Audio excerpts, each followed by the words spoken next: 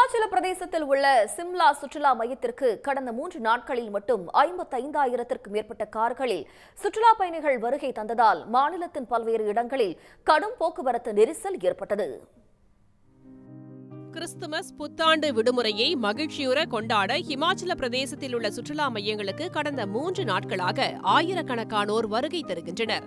இதனால் மாநிலத்தின் பல்வேறு இடங்களில் கிலோமீட்டர் கணக்காக வாகனங்கள் அணிவகுத்து நிற்கின்றன.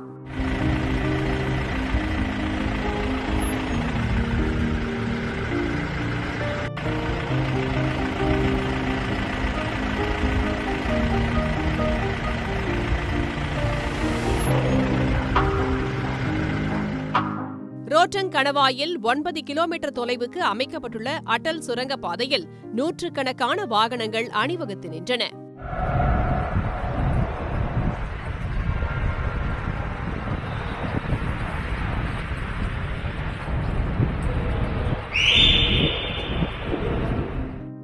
புகழ்பெற்ற சுற்றுலா தலமான ஷிம்லாவுக்கு கடந்த மூன்று நாட்களில் ஐம்பத்தைந்தாயிரத்திற்கும் அதிகமான கார்களில் சுற்றுலா பயணிகள் வருகை தந்ததாக காவல்துறை தெரிவித்துள்ளது. இந்நிலையில் சுற்றுலா மையங்களில் ஆயிரக்கணக்கான கார்கள் நிறுத்தி வைக்கப்பட்டிருக்கும் ட்ரோன் காட்சி வெளியாகியுள்ளது.